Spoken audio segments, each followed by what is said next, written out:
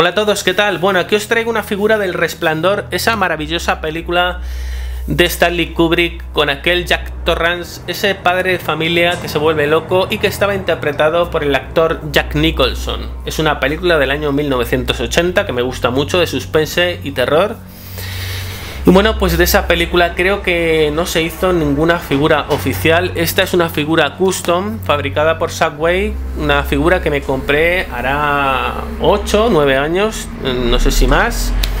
Bueno, como es una figura no oficial, no tenemos el título de, Shining en la caja, el resplandor, tenemos el título de Screaming, el grito, pero tenemos algunas imágenes que nos hacen ver que se trata de esa película, ¿no? Como esta fotografía en blanco y negro que se ve en la película, ¿no? Esos ocupantes del Hotel Overlook del pasado. Tenemos aquí esta frase de la película también.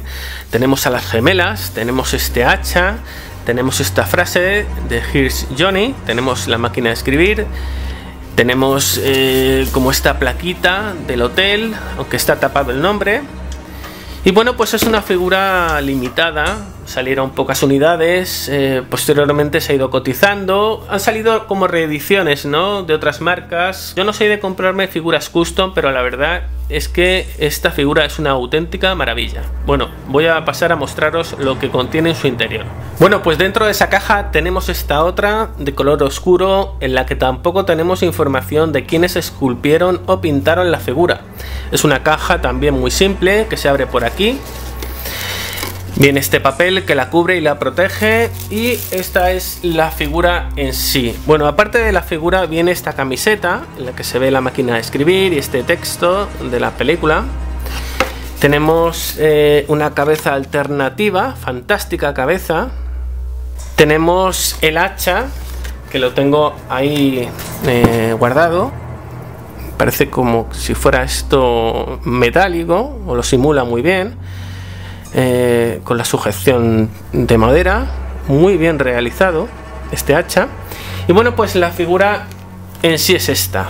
Fijaros qué maravilla, eh, la cara de Jack Nicholson con esa barba muy bien pintada. Eh, bueno, es un esculpido maravilloso. Es una figura articulada tipo Hot Toys, ¿no? En muchos puntos. tiene articulación aquí como en los dedos, ¿no? Es que es algo fantástico. Eh, las, las, piernas igual, como todas las figuras. Eh, aquí eh, en los tobillos, fijaros en las botas con cordones muy bien hechas. La base de las botas también muy cuidada. El cinturón, la camisa de cuadros, la chaqueta, fijaros el interior. A mi juicio es la mejor figura que ha salido del resplandor a pesar de ser custom. Eh, no creo que haya ninguna eh, compañía eh, como Hot Toys que pueda hacer una figura yo creo que tan buena como esta, ¿no? Es que el esculpido es maravilloso porque han salido otras custom después que esta de resplandor y la cabeza ya no ha sido igual de buena. Fijaros ambas cabezas, lo bien hechas que están. Una es como más dañada, ¿no? Como ya al final cuando mete la cabeza por la puerta. Esta es más Mm, pues de momentos anteriores, aunque tiene aquí un pequeño golpe también. Eh, y bueno, pues me parece una figura maravillosa con su hacha y todo. Eh, lo único malo es que no viene base, tendríais que ponerle una base de Hot Toys o de Size Show.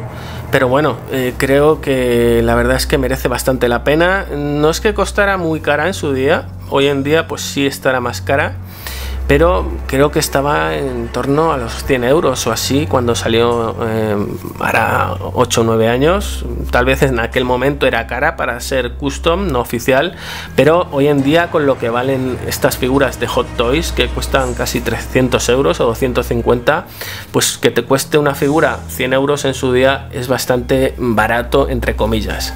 Así que nada, pues espero que os haya gustado esta nueva figura que os he mostrado. Próximamente os mostraré más figuras que tengo de terror de este tamaño, un sexto, unos 30 y pico centímetros.